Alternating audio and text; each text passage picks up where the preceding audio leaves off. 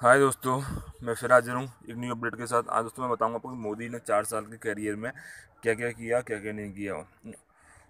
दोस्तों, उन्होंने ना चार, उत्तराखंड में एक सम्मेलन हुआ था जिसमें वो उपस्थित थे। उन्होंने उसमें कहा कि आज आज दुनिया का आदर्श निवेश स्थल बन चुका है। देश में बड़े समाजों और आर्थिक बदलाव हो रहे हैं। चार साल में दस हज़ार उपाय कर देश में कारोबार को आसान बनाया। इस कारण कारोबारी हुकूमत की विश्व सूची में भारत का रैंक में बयालीस अंक सुधारी सुधरी है।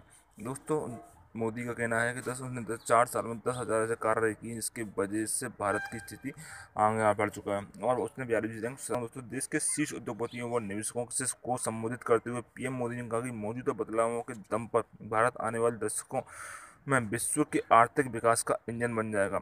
देश की अर्थव्यवस्था का ज़िक्र करते हुए पीएम ने कहा राजस्व घाटा कम हुआ महँगाई दर घटी है, मध्य वर्ग बढ़ रहा है। पीएम ने कहा कि पिछले चार सालों में केंद्र और राज्य सरकारों ने दस हज़ार से ज़्यादा कदम उठाए, इसलिए निवेशकों के लिए मौजूद समय श्रेष्ठ है। चौदह सौ से ज़्यादा कानूनों में संशोधन किया, अब कारोबार आसान हुआ है। तो बैंकिंग सिस्टम भी मज़बूत हुआ है। मोदी ने कहा कि आज़ादी के बाद जीएसटी सबसे बड़ा सुधार है। इस देश को एकल बाज़ार का रुपये रूप दे दिया है।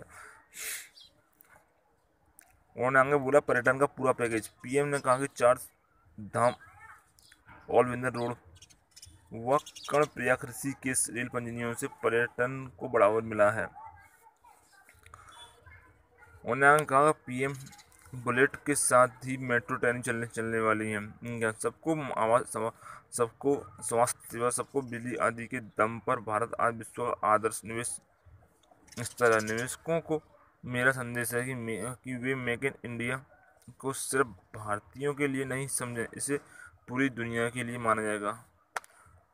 दोस्तों, उन्होंने चार साल अपने पहाड़ में ये सब क्या कहा? दोस्तों, आगे आप समझदार हैं महँगाई दर घटी या जी एस टी सुधार हुआ या क्या हुआ? दोस्तों, आपको खुद पता होगा कि उन्होंने चार साल के करियर में क्या क्या। किया लेकिन हाँ दोस्तों, अगर मेरी राय होती तो मैं यही बोलता कि हाँ उन्होंने काम किया, उन्होंने कार्य किया। और हमेशा वो करते रहे हैं दोस्तों। दोस्तों, अगर इसी तरह तो आप बाकी आप लोग देख लीजिएगा, क्या आपको सही है, क्या गलत है दोस्तों? आप खुद समझदार हैं दोस्तों। ये था मेरा आज का वीडियो। तो वीडियो अच्छा लगा तो मुझे लाइक कर दीजिएगा बगल सब्सक्राइब कर दीजिएगा बगल का बेल आइकन दबा दीजिएगा दोस्तों, और कमेंट अपनी प्यारी प्यारी बातें कर दीजिएगा दोस्तों। थैंक यू दोस्तों